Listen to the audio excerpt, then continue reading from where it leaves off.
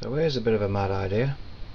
Charge up the alum cell with an Electrifly Park Flyer charger.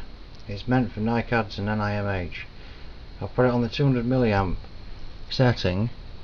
There are some bubbles inside, I don't know if you can see. And uh, we'll see what happens. It started at 0.7 volts and 4 milliamps. So I should think I'll run it for 10 minutes, that's all, and then see what happens. Okay, about five minutes later it's detected there that the cell is apparently charged and I believe the one flash is its one cell which is, uh, at least it's detected that correctly. I'll see now what's on it. Right, it was on 0.7 before, it's now on 1.051.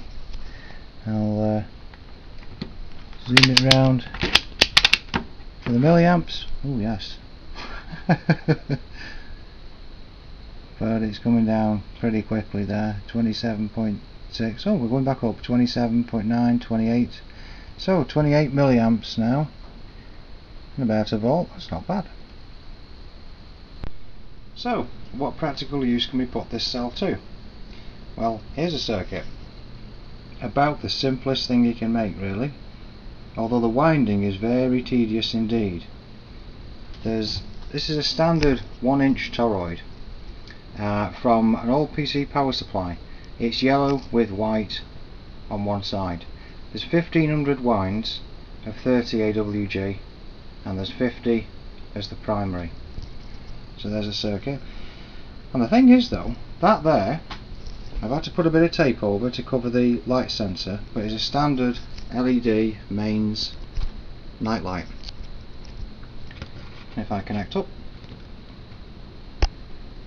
to wait till the thing charges a little. But there we go. So the light's on. I'll turn off the light now and show you the brightness. There we are. Nice little light, little night light there. So that's the kind of practical thing you can do. and there we are. There's the circuit again.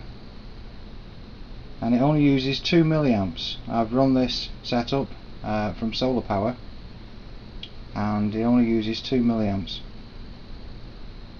but it does take 1500 wines. Okay, thanks for watching.